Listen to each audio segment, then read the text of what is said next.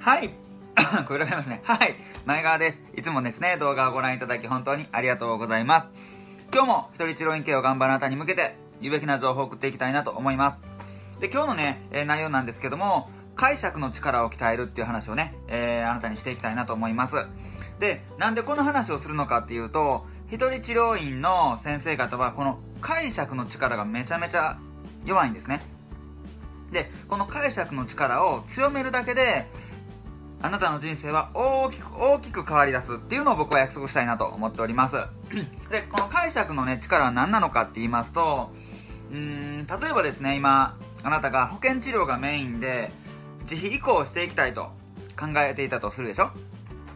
で、まあ、自費移行のためのまあ戦略、戦術いろいろ、学んで、それを実践して、やることによって一つの事実っていうのが出てくるわけじゃないですかえばやったことによってこういった事実が出てきたとする。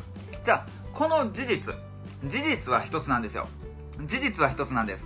でもですねこの事実を見た時にどう解釈するのかこの解釈は無限にあります。もう一度言いますよ。事実は一つ。でも解釈は無限にあるんですよ。これ何に見えますか？紫色のペン。っていうえ解釈の仕方もあればこれで字を書けばめちゃめちゃ綺麗に書ける。可能性があるとかね。あこれは有名なあのペンじゃないかとか解釈っていろいろあるわけですよ。でも事実は一つですね。ここにこのこのペンがある。これはもう事実。これは一つですね。でも解釈はいろいろあるんですよ。そんな感じですね。えー、自費移行することによっていろんな問題が起きてくるじゃないですか。例えばですよ患者さんがいなくなっていったと。今まで来ていた患者さんがいなくなっていく。